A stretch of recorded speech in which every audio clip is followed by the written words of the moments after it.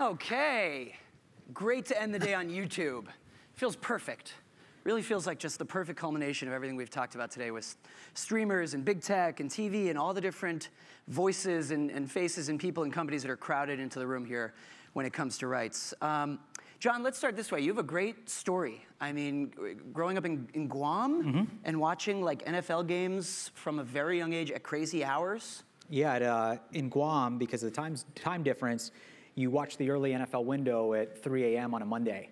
So that was my on ramp to, uh, to that was my experience across most uh, domestic sports, NFL, NBA, baseball, et cetera, which made for, you know, complicated school attendance when Monday Night Football is on at 11 a.m. on a Tuesday, but we, uh, we largely made it work. And I think I was mentioning to you in the back, we actually launched Sunday Ticket in Guam this year. So, uh, you know, there's a small but passionate cohort of fans uh, like myself who will be able to tap into it. We will definitely talk about the NFL and about Sunday Ticket. Um, but let's just stick with kind of your story for a second. You have been at YouTube a long, long time. Yes. I think 16 years. Wow. It's uh, insane to say that out loud, but yeah. So, you know, sports was not always necessarily the focus. I mean, what has the strategy been like to witness? Uh, obviously, that was before there was a YouTube TV, which has really taken off. But um, in what ways have you guys made sports a, a major driver moving forward? Yeah, so going back, I mean, sports has always had a presence on YouTube. Um, I started working on our sports business in about 2012, and at that point, you know, if you were a fan of the NBA, you knew the NBA had an amazing channel. If you were a fan of the WWE, they had a great channel, but it was very hard to understand how everything fit and if you were a fan, what role YouTube should be playing. If you're an advertiser, why you should consider spending dollars that could go to a live broadcast on YouTube. And even to our partners, it was hard for them to wrap their heads around exactly where we fit in their broader distribution ecosystem, where we digital, where we video, where we social, et cetera.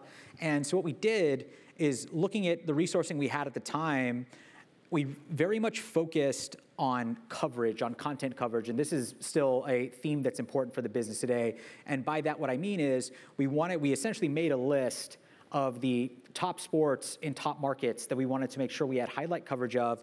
We looked at that list and we had about 40% of those properties active. So we spent years actually bringing some of those leagues and broadcasters onto the platform, but not only bringing them on, helping them understand the nuances of YouTube, what our audiences expected, and then ultimately helping them build a business on top of on top of our platform. You know, when I first started having these conversations, you know, digital was promotion, it was reach, it was uh, you know largely viewed through that lens, and now it's you know this is a legitimate P&L, and there are both reach and revenue expectations for the people who manage digital businesses. I I'm sure many of you, uh, as many of you in this room, do. Oh, I'm glad you motioned to the crowd there. I wanted to ask everyone who in the room has YouTube TV? Oh, yes. Pretty good coverage. We, we appreciate uh, the patronage. A lot of hands going up.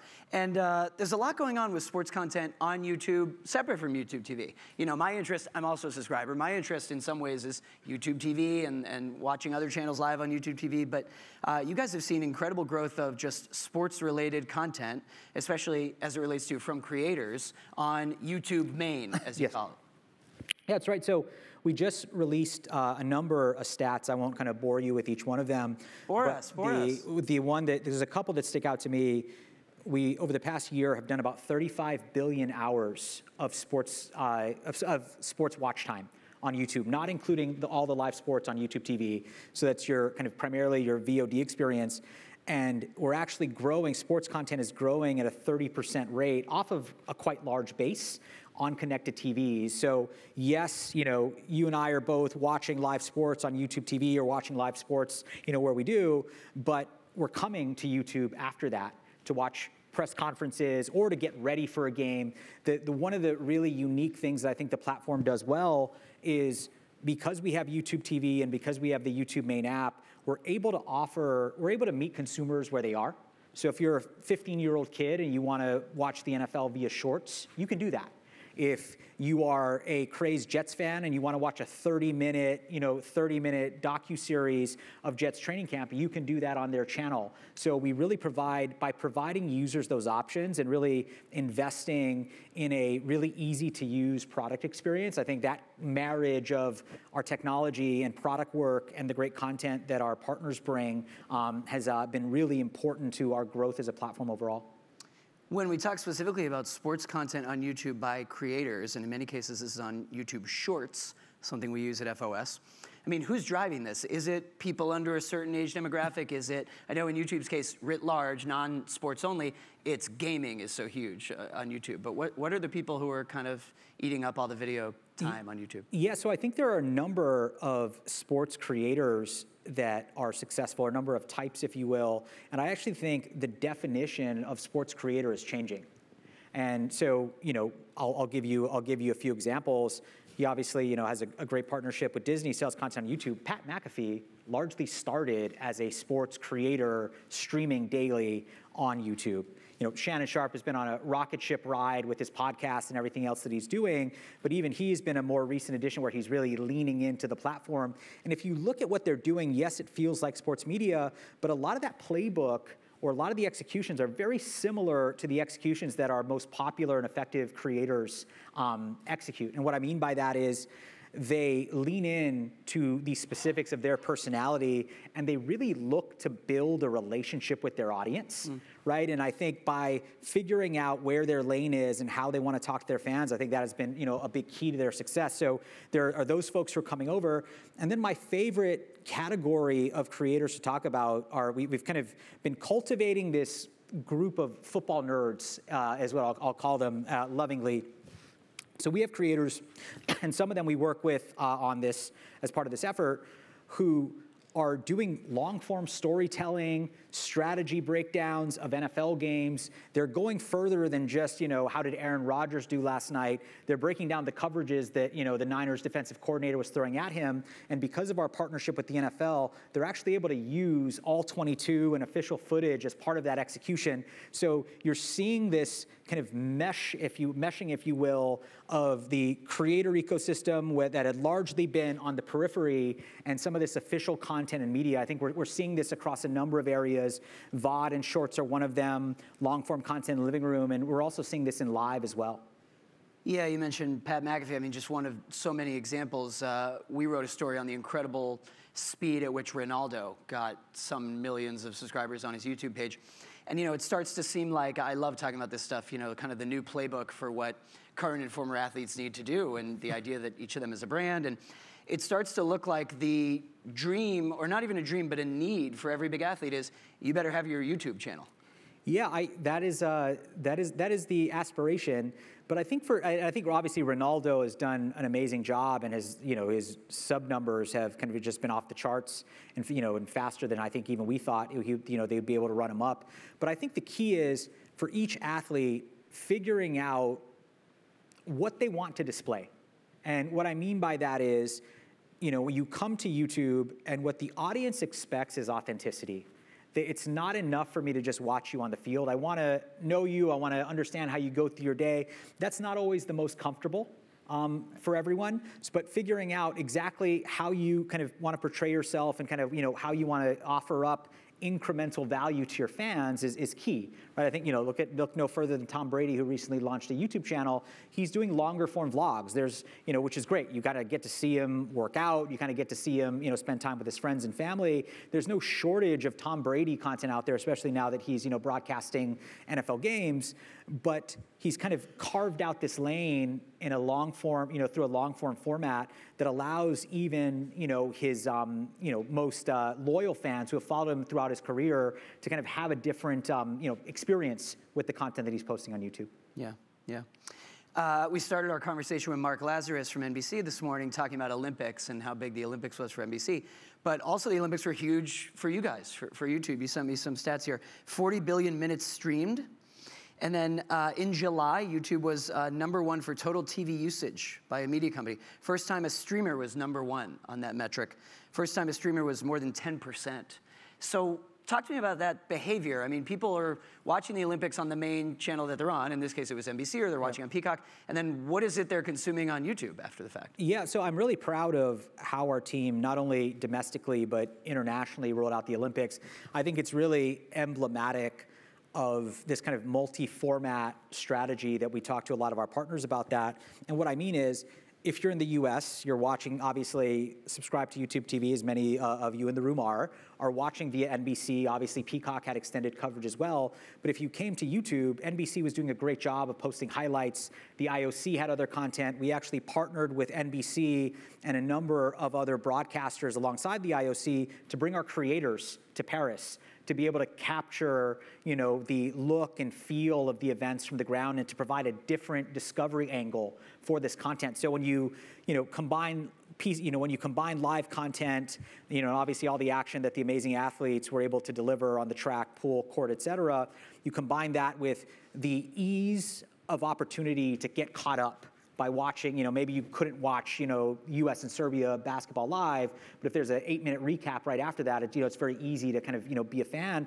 And then for younger fans, there's an on-ramp to the Olympics. Maybe they're not interested in sports at all, but they're interested in a creator who's on the ground at the event. And look, it, it'll take some time to build that relationship, but without that creator touch point, maybe, you know, you don't get Jane Smith in San Jose, California, because she's just going to watch something else or kind of, you know, um, engage with content that you know she actually feel that she actually feels more of a connection to. Hmm. Wow. So number one for minutes watch among a media company in July, big month in July, and that was without the NFL. And now here we are, we've got a new NFL season. Uh, for those who don't remember this drama, big story in the sports media world was in 2022 when YouTube came in and, and uh, bought the package for, for Sunday Ticket uh, and DirecTV bowed out. It was kind of a, a little bit of a reported bidding war between other tech giants.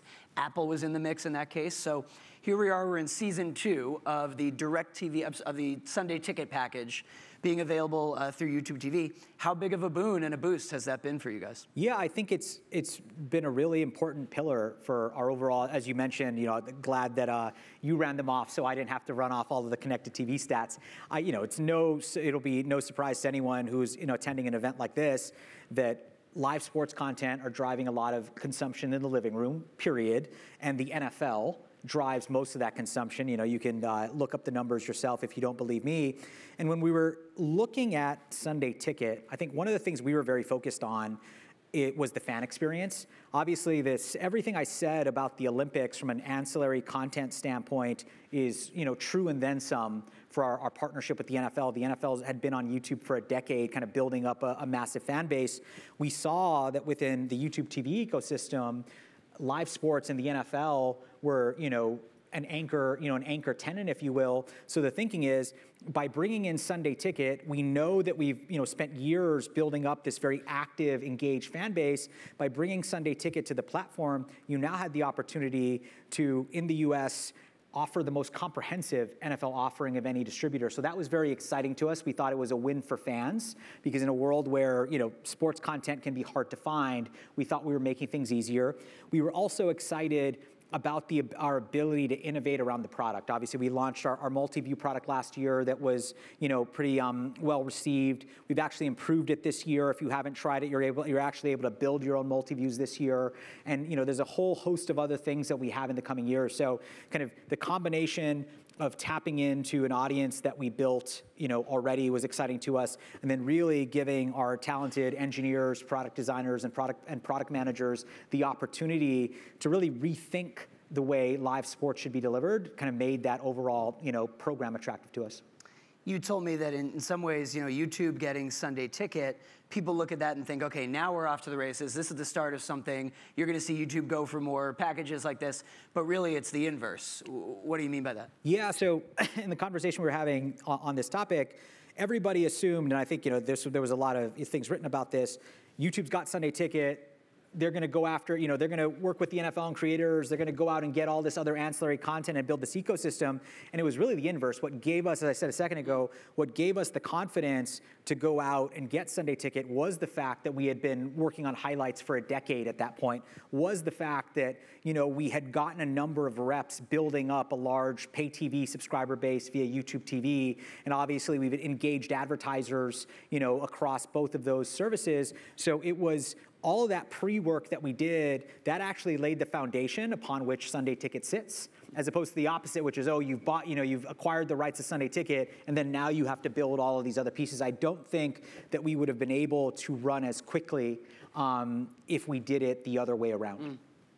I mentioned there was a, a, little bit of a big tech bidding war, or at least that was how um, my world framed it. You know, Apple was in the mix on that. Amazon, which now has Thursday Night Football. There were even whispers, you know, does Netflix want to get into that? Netflix this year has a couple live NFL games during the holiday season. I mean, how do you guys view those other tech giants competitively? I mean, the obvious difference, YouTube is a platform, you know, so it isn't necessarily the case that you'll be going after uh, you know, you're, you're just distributing from others, and, and it's about how they show up on YouTube.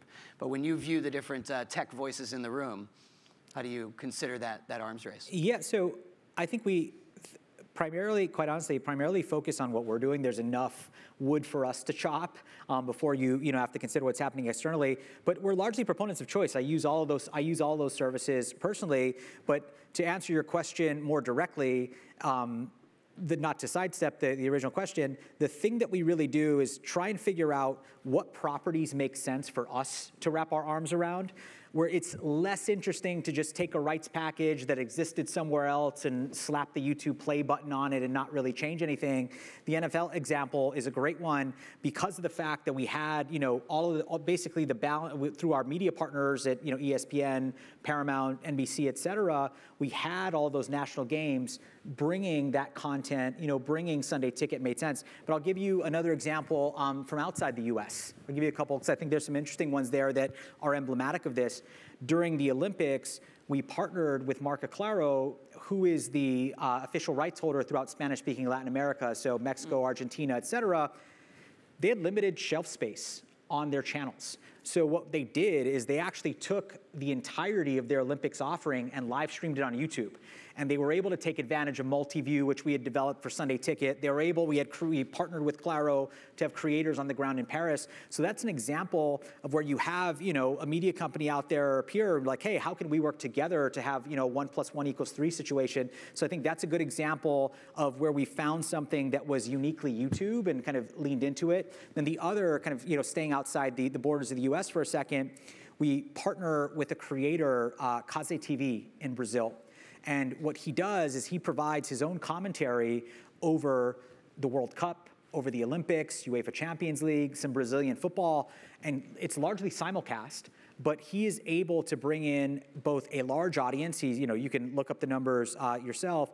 The, he has some of the largest live streams in YouTube's history, but also a very diversified audience. You know, two thirds of his audience is between the age of 13 to 34, which is very different from the audience that these same events are getting, you know, through linear or through pay TV. So I think it's spots like that where we can use our technology, we can bring in our creators, and it can really feel like YouTube. I think those are the spots that we lean into, and as we think about about the competitive space, if we do a good job of kind of tapping into kind of pillars like that, I think we'll be just fine as we uh, kind of you know navigate uh, you know the world of a, a very um, diversified uh, world of distribution.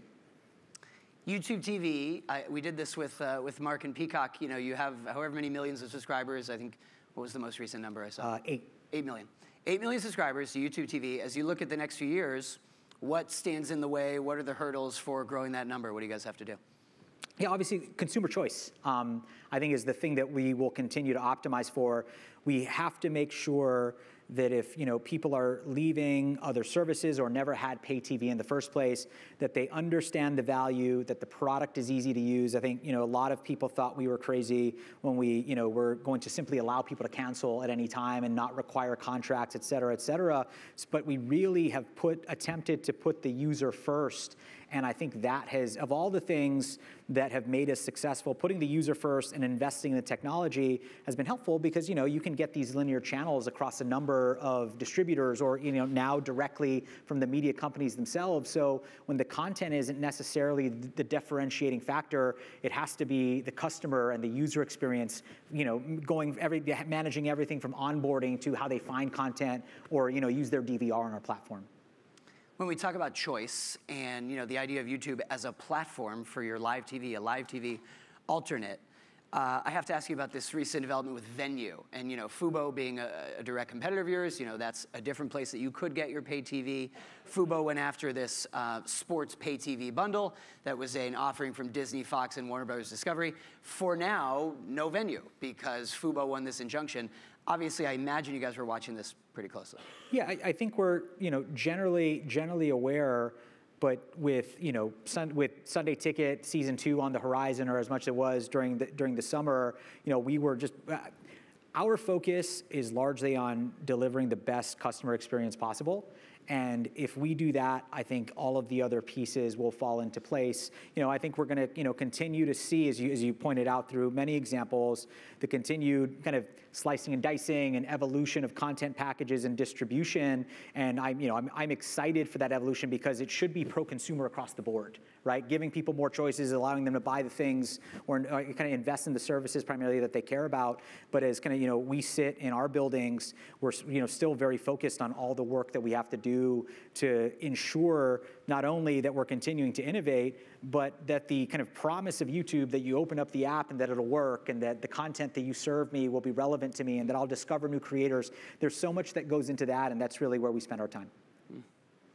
We've been talking about partnerships with different leagues and also, you know, a phrase uses how they show up on YouTube. Um, if we can peel back the curtain a little bit and, and kind of see how these relationships work, you guys had an MLB Network relationship mm-hmm. that you guys, you know, you parted ways with MLB Network. You've still got NBA League Pass that you can do through YouTube TV.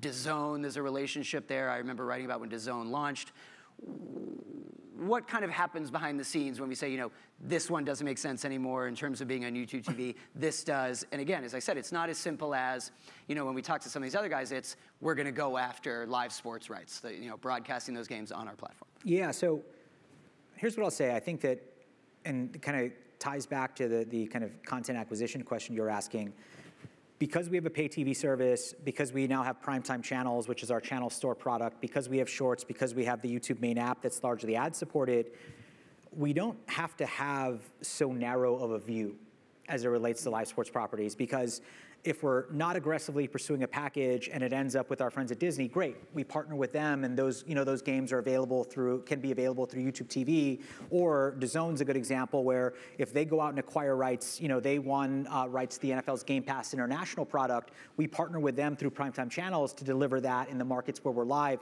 So our calculus is a little bit different because we partner with these media companies and it's less zero sum, mm. um, you know, than it, than it may be than it may be elsewhere. But really, to your point around platform, it, it is really something that we stand by. We have, and I, have kind of seen this firsthand over you know the uh, extended period I've been at YouTube. We are in better service of our partners. They're very smart. They're savvy. They understand their business better than we do by building these options. You know, we build YouTube TV, we build primetime channels, we build a healthy ads business. They'll, they are sharp enough and understand the alternatives and can figure out what makes most sense for them and where they should plug in and maybe where, you know, where they aren't as eager to plug in, at least right now. So we've tried to build business model variability in so that they're able to kind of choose the best way to monetize their content.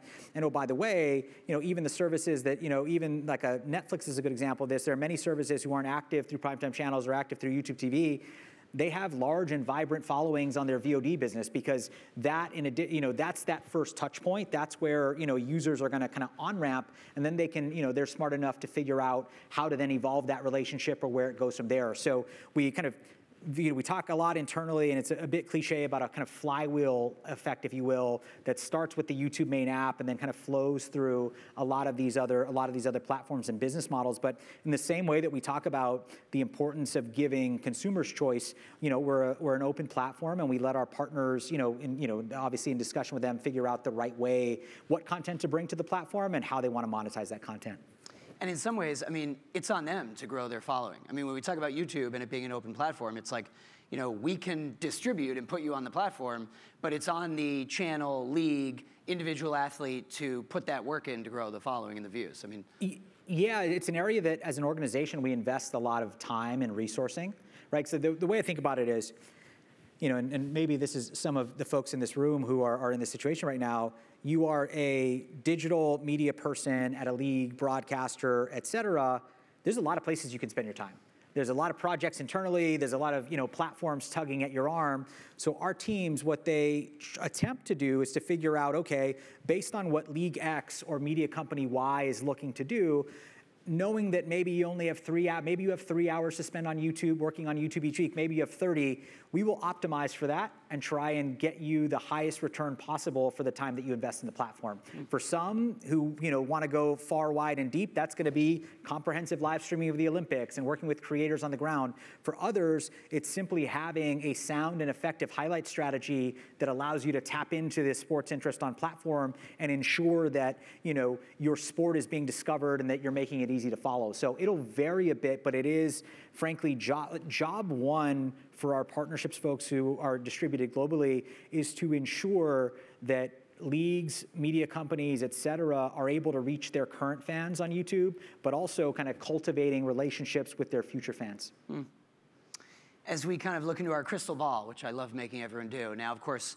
the big rights are actually locked down now for, for a while. I mean, in terms of the biggest leagues. Uh, and we've talked about how that's, that's not really YouTube's game anyway. But when you look at the next five to 10 years, I mean, all we really know for sure, as you told me uh, in our chat a few days ago, is that sports content is going to continue to anchor the living room. But when you look at that landscape with tech giants from your perspective, Google owned YouTube, all of big tech getting in on this. Then there's TV. You know, it was interesting this morning, Mark Lazarus said, you know, the advantage that we still have over tech companies is the broadcast element, you know, and they don't have that. What do you see playing out? So I think there's uh, a lot in there. The thing that I, and I actually hit on it a few times here, the thing that I'll call out that I'm very bullish on and that we're very early on, and I think I'm gonna be right on this, is the integration of creator into live sports. Mm. From a broadcast and commentary standpoint, I think there we have we've barely scratched the surface there. You know, I think you know I'll kind of call on you know the Pat McAfee example again. The product that they're delivering on ESPN, I think it, it's great.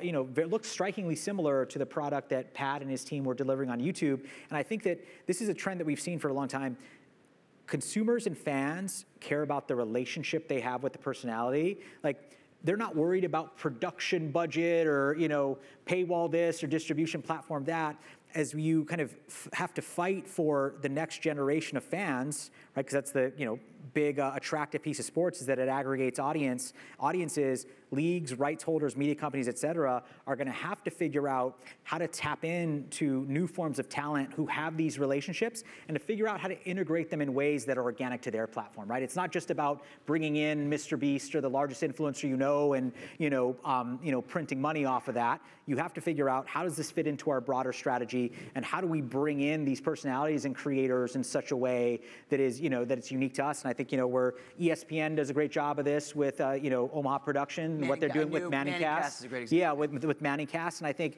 you know, they bring in guests and they kind of have created this parallel experience. And I think you're going to see more and more of that creeping in to the mainstream where the expectation will be that if I care, you know, if I want to hear NFL commentary from Brett Kollmann, who's an up and coming, you know, football nerd on YouTube or strategist on YouTube, I'm going to be able to kind of choose that over, you know, maybe over Tony Romo and Jim Nantz. And I think the forward-looking media companies, or, many of them today, already get that, and I think that will be more commonplace, especially as you pointed out, as these rights are locked up for some time, they're going to have to figure out how to keep it fresh, how to innovate, and how to keep these audiences flowing in. So, um, you know, my uh, of, of, all the things in the crystal ball, I think that's the one that I see the most uh, most clearly. Let's end on this. You know, we, we started talking about some of the stats at the beginning of the growth of sports related content on YouTube main and YouTube TV. Obviously, NFL Sunday Ticket on YouTube TV is a huge draw. But of course, there's a ton of stuff on YouTube that isn't about sports. I mean, our interest today is sports. Um, I'm sure that one of your colleagues can go to a gaming conference and say, YouTube and gaming, it's so mm-hmm. big for us. Is sports the thing? Is sports the core number one engine that's going to drive YouTube into the next few years? I think that creators will continue to be YouTube's backbone. And creators in sports, as we've, you know, as I've kind of mentioned a ton of times today, are going to be important. I think as we look at from a broad advertising standpoint, yes, you know, partnering with sports properties is going to continue to be important for us.